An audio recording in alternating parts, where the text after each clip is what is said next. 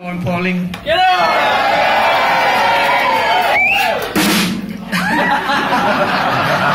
best place in the world, man. So, in honour of that, a couple of years ago, I wrote this song. I don't play it very often anymore, but some of you might have heard it, and you might be hearing it at later gigs and elsewhere.